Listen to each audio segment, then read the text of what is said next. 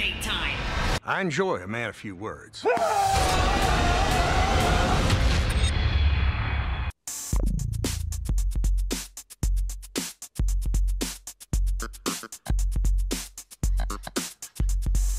Y hola, ¿qué pasa? Muy buenas y bienvenidos a Idiocracia. Hola Fer, ¿qué tal? Hola Tony. Hemos visto Willy's Wonderland, la última peli de Nicolas Cage, y yo no sé tú, pero yo estoy encantado. Tú estás demasiado contento. Está bien, está bien, tiene sus cosas. Pero tú le quieres dar ya cuatro Oscars.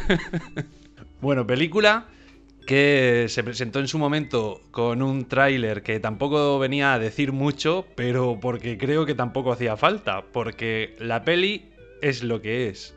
Eh, primeras impresiones, ¿qué te ha parecido? Mm, Me ha parecido muy entretenida, muy bien. Tiene es cierto que tiene sus tópicos, pero pero está estupendo todo, todo está estupendo. Y aparte pasa pasa rápido, ¿sabes? No Sí, sí, sí. y cuando crees que hay un momento que, que baja, no te preocupes que a los minutos vuelve, vuelve a seguir. O sea, que bien. Cuidado porque en su momento acertamos.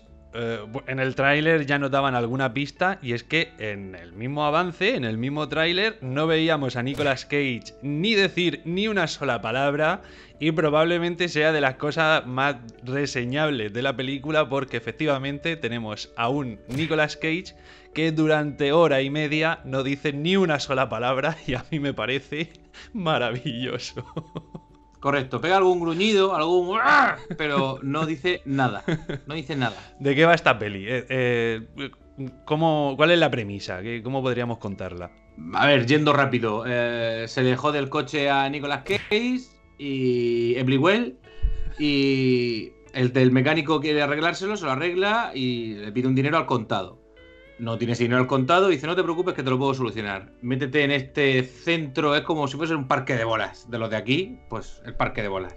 Con, con muñecos que cantan como... Hay un capítulo de Los Simpsons que sale, en plan, ¿cuál es tu cumpleaños? Y los muñecos cantan y hablan y tal en un parque de esos que está abandonado y dice, venga, pásate toda la noche, límpialo, organízalo y cuando salgas te doy las llaves del coche y el coche arreglado. Y eh, empieza. Y sería. Empieza la magia, empieza la locura. Eh, Correcto. Es una peli con un corte muy ochentero, noventero, tiene eh, cosas de peli de terror, tiene momentos de slasher, de gore y navajazos y sangre, porque sí. Tiene ese punto de serie B súper cutre. Es como todo un homenaje a pelis de la época, pero con una producción, ¿no? Con, con un acabado de peli de hoy en día, porque todo bastante correcto. No ha habido nada que me haya chirriado especialmente. La verdad es que todo bastante bien.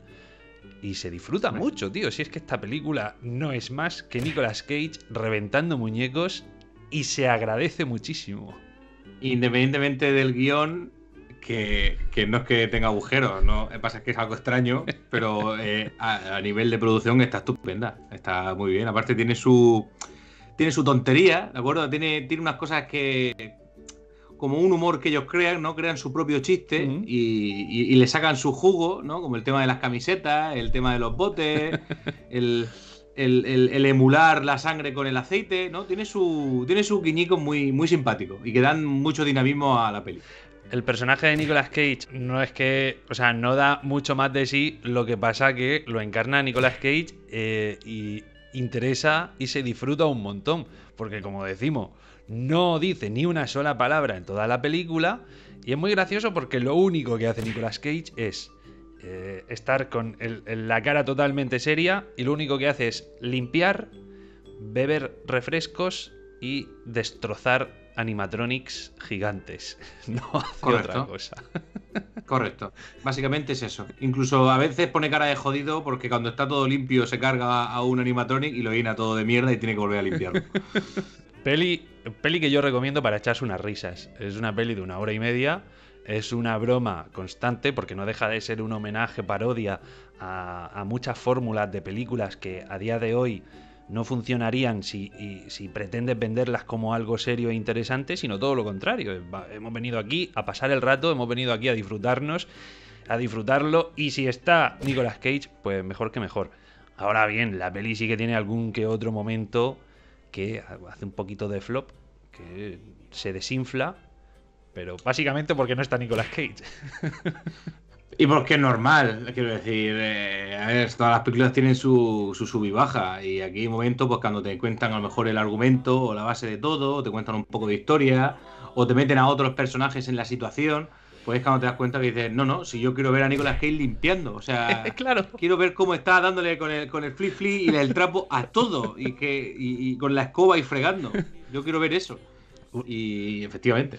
Eh, sí, sí que es verdad que cuando no sale él y cuando nos meten a este grupito de otros personajes, eh, eh, personajes adolescentes, ¿no? Más, tópicos del cine de, de por aquel entonces, y se dedican a matarlos y tal, pues bueno, ya sabes lo que está por venir, pero sí que es verdad que cuando no está Nicolas Cage en pantalla, pues se le echa de menos porque baja un poquito la diversión.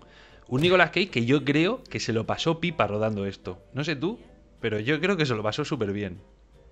Hombre, no tuvo que estudiar nada y, y, hace de él. O sea, claro que se lo pasó pipa, cobró rápido. Eh, yo lo veo, lo veo en su salsa totalmente y además lo veo muy bien, ¿eh? Cuidado que lo veo muy guapo, lo veo... Creo que ha perdido unos kilitos, creo que está un poco... ¿No? Está como un poco cuidado. Está un poco cuidado, sí. Lo que pasa es que tiene esa barba falsa perfilada así que, que no se cree nadie, que no sé si será suya tintada o algo. Pero es cierto que, que, se le ve, como va siempre con la camiseta. Mm, bien, yo creo que, yo creo que Nicolas Cage eh, está volviendo. Está volviendo en, en, un enfoque completamente diferente a lo que teníamos, a lo que, a lo que recordamos de los 90, pero creo que es muy necesario que esto exista. Que antes de darle el, el, papel protagonista a cualquier otro chaval guapo que pueda hacerlo mejor o que no, no, no sé qué pasaría, pues oye, dáselo a Nicolas Cage, que para eso está. Ya está, si es que no hay más. Estás está demasiado enamorado, Tony. Esta película, si no mete a Nicolas Cage, no va a ningún lado. Desde luego. Esta película se sujeta porque es Nicolas Cage en una película de broma que parodia y homenajea un montón de cosas que son muy divertidas. Pues nada, la recomendamos y ya está, ¿no? Pues sí, ¿verdad? Eh, Willis Wonderland. Y muy bien. Un buen rato. Y estupenda. Pues nada, si la habéis visto, nos podéis dejar un comentario. Nos podéis seguir en las redes también, o no. Haced lo que queráis. Y bendito sea Nicolas Cage. Ha vuelto. Case, Case, everywhere. Trabaja en todas partes. No cobra palo.